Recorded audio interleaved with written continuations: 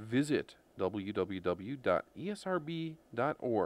or call 800 771 3772 for rating information.